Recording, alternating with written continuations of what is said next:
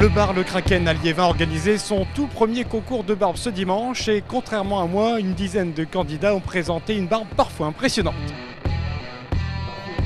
Pas que la taille qui compte, il y a toutes les tailles aujourd'hui, super, super look, Bastien, bonjour. Comme le Kraken euh, fait toujours des événements qui sont tout le temps dans l'événementiel, faire des soirées, des choses de dingue, et que moi je suis dans le monde de la barbe avec Max Barber, on s'est dit ben, pourquoi pas lier nos deux passions et créer un événement convivial pour regrouper euh, tous les passionnés de la barbe, les gens qui aiment bien euh, créer des événements, venir euh, passer des moments et aussi mettre en avant des, des stands, des professionnels euh, avec leur marque.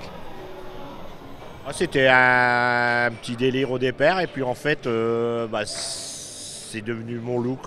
C'est un style en fait euh, viking. euh, voilà, on a vu les vikings, euh, style. J'ai toujours porté la barbe.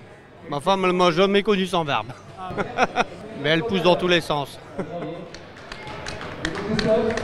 On voit qu'il y a le sapin, il y a les boules, il y a tout.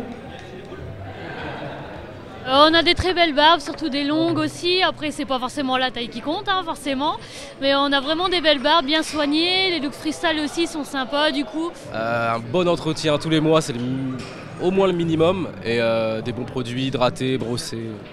Pas de produits qui, qui bousillent le poil, ça sert à rien. Simple, efficace, hydratation et brossage. Dans la catégorie freestyle, on peut applaudir Christophe.